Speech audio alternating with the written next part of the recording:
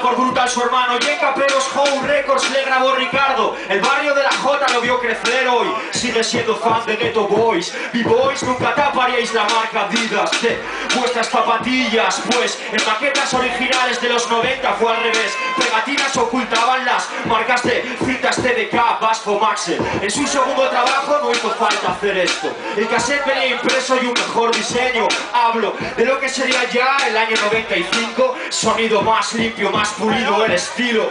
Un ordenador amiga y Ricardo de nuevo. Hicieron que mil copias cruzasen el país entero. Muchos copiaban a Casey. Oh, fue así, un frenesí, un tren sin vagones, imparable, imposible.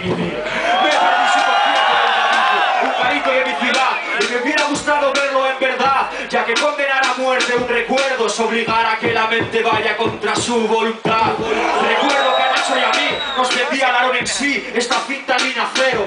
Yo no sabía nada, pero tenía fe en esto. Fe en los que en un futuro se llamarían violadores del tío.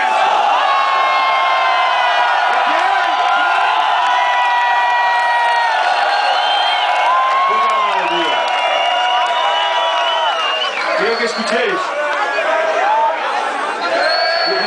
Quiero que escuchéis.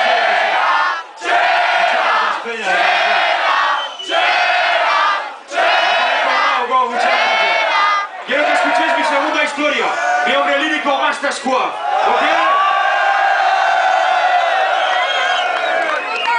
Hablo de 1994, Gangsta Squad, la formación de la margen izquierda, brutal y lírico, creadores de una secta, lírico, David Giraberte, mostró métricas diferentes con tan solo la edad de 17, época del rollo, de heavies, peleas y skins, él por entonces ya era seguidor de and Rakim, David, estilo original junto a Sergio Ibarra, a.k.a. Brutal. En el barrio no eran iguales todos los chicos. Algunos tocaban a sus novias, lírico a su caja de ritmos Yamaha.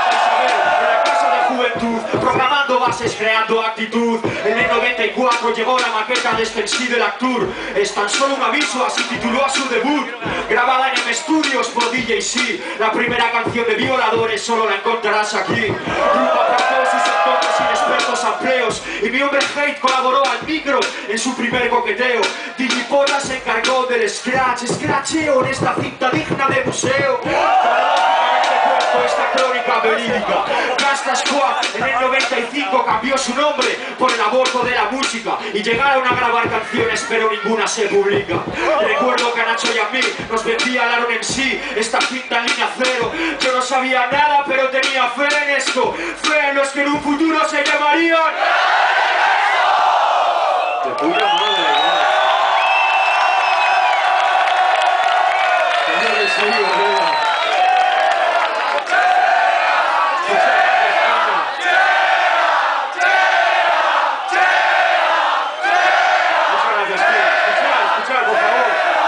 De corazón, ¿eh? Todo esto de corazón, tío. Mucho, todo esto me marcó mucho a mí, tío. Quiero que escuchéis la historia de mi hombre maestro ¿ok?